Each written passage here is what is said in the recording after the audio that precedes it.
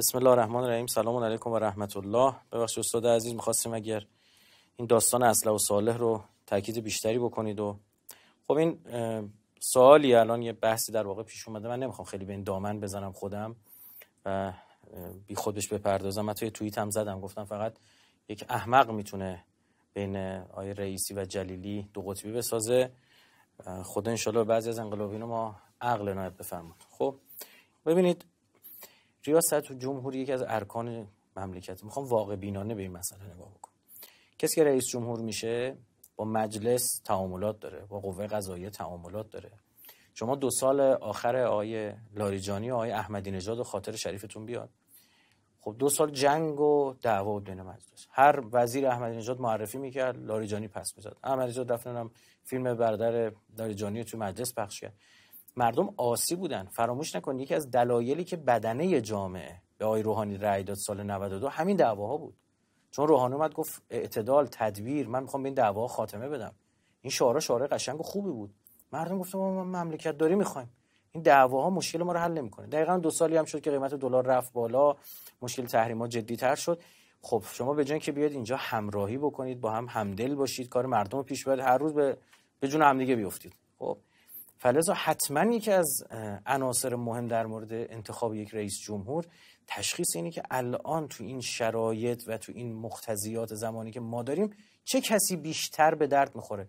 آیا الزامن اون آدم مثلا ما والا ما که فازمت نداریم بریم تقوا سنجی کنیم ببینیم مثلا با تقوا تره یا چه می‌دونم یه معیارایی باید داشته باشیم به سری چیزا رو بسنجیم. خب الان کدام کار کشور درست می‌تونه پیش ببره؟ خب یه موقعی ممکنه یه آدمی مثل آقای احمدی نژاد تو اون بره این کار پیش ببره یه موقع اصلا برای یه کشوری لازمه یه جریان خدمت شما عرض بکنم که حالا نرمتر مثلا سر کار بیاد. ببینید زمان که پیامبر گرامی اسلام تو مذاکرات صلح حدیبیه عثمان رو میفرسته برای مذاکرات. امیرالمومنین نمیفرسته.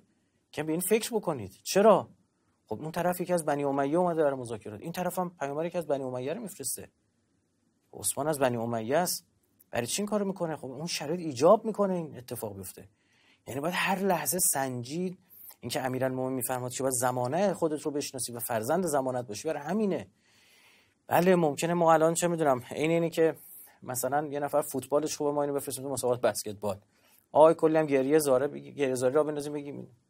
این خیلی مهمه. تعارف نداریم. کسی که سر کار میاد باید با مجلس میونش خوب باشه. و الا از فردا دعوا دارن. ای یه وزیر می‌خواد معرفی بکنه. فکر بکنید اجازه ندادن. اجازه ندن. هی رد صلاحیت بکنن استیزاه کنن. و خب کار پیش نمیره. خب باید با نیروهای مسلح ارتباط خوبی داشته باشه. بالاخره رئیس شورای عالی امنیت ملی میشه. نیروهای مسلح اونجا هستن نیروهای امنیتی هستن. باید با سپاه بتونه سازگاری داشته باشه. بتونن حرف حرف شنوی داشته باشن از هم دیگه خب ببینید آیه روحانی تون دولتش یکی از شانس هایی که داشت که واقعا که پوان هایی که داشت این بود که یک مجلس تماما همراه با ایشون سر کار یعنی آقای لاریجانی هر چی خواست براش فراهم کرد. بخش قابل توجهی از اون چی که در دولت آی روحانی ما دیدیم نتیجه آی لاریجانی یعنی اینکه حتما آی لاریجانی تو اون اتفاقاتی که مملکتمون افتاده علی لاریجانی حتما شریکه. فلز یه خورده واقع بینانه بعد نگاه بکنیم. ببینیم اون فردی که می‌خوایم انتخاب بکنیم الان تو شرایط کنونی کشور چه کسی می‌تونه مثلا اون اجماع رو به وجود بیاره؟ بتونه همه رو زیر یه چتر جمع بکنه بتونه با همه تعامل داشته باشه. این یه واقعیته. ما بالاخره داریم به مملکت داری فکر می‌کنیم. خب؟ بین نگاه کن یه انقلابی باید آرمانگرا باشه. درسته؟ اما آرمانگرا ما واقع بین ما وقتی داریم می‌خوایم بریم بالا یه کوه از اینجا نوک قله رو نشونه میریم میگیم می‌خوام برم اونجا. اما دیگه همش به اونجا نگاه کن خوردی زمین. قدماتو باید درست برداری کفشتو درست انتخاب کنی کوله درست همراه درست زمان درست. همه چی استراحتگاه ها درست همه چی درست. اما باز فقط هم به این پایین نگاه کنی پاد نگاه کنی میری دره. می‌بینی به جای قله آ رفتی قله ب. یه جا دیگه رفتی. یه خورده راجع این مسئله من درخواستم اینه واقع بینانه نگاه بکنید. خب؟ اینجا بحث اصلح و صالح و این چیزا همینه. اصلا همون کسی که شما می‌رسید دقت بفرمایید که الان برای مملکت بهترینه همون اصلحه. شما اصلاح پس چی می‌بینید؟ صرفی که مثلا مثلا با اخلاق تر باشه مثلا با اخلاق تر بودن از کجا می‌خوای بسنجی؟ تقواش از کجا می‌خوای بسنجی؟ پس چی شد؟ اصلا فهم ما در مورد و سالم فهم برخی از دوستان اشتباهه. همون کسی که الان بیشتر به درد مملکت می‌خوره همون اسلحه ولو تو یه چیزی دیگه مثلا توی حالا تو این نمودارهایی که داره تو یکی پایین تر باشه که بالاتر باشه.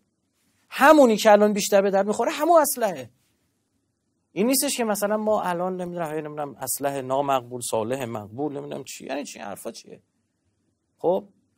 معلومه ما دیگه به این مرحله نورس با بعضی باز از این طرف بوم میفتن اینم دقت بفرمایید که آقا دیگه انقدر الان مردم این کار من اون مرز تسامح تساهل میفتن دیگه به قول بنده خدا گفت انقدر این اصل ساله کردن دیگه الان رسیدن به مرحله دفع افسد به فاسد.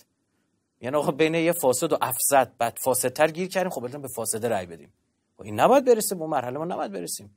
ما سر خطوط قرمزی داریم. خب اگه همینجوری الان اینجوری باشه خب چرا الان ما انقلابی مثلا به آیه همتی نقد داریم؟ خب بگیم دیگه بگیم آقا مثلا الان این بیاد با مثلا احتمالا بهتر می‌تونه مذاکره کنه حرفا نیست. از همتی گنده ترش نتونسته بنا مذاکره کنه. یه قدم نتونسته پیش ببره. مملکت اصلا پاشوندن. خب ما این ورم داریم می‌بینیم دیگه. این این نیست. یک ابتداییات یه چیزی هست که اون جامعه مؤمنین فهم دارن ازش. حالا ما می‌تونیم بریم نماز شبای اینا رو متر بزنیم؟